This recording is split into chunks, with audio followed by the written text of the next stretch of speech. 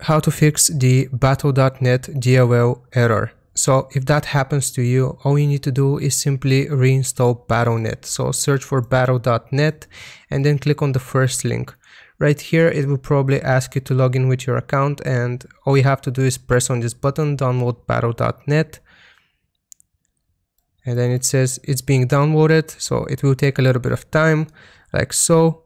We get the .exe file, so click on it, press yes, and then it will start updating or downloading the client for you.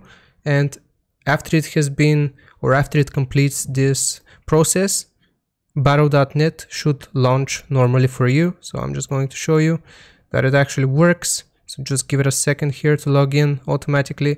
And as you can see now we don't get the error anymore. So I hope this worked for you. Leave a like and subscribe if it did. I will see you guys next time. Goodbye.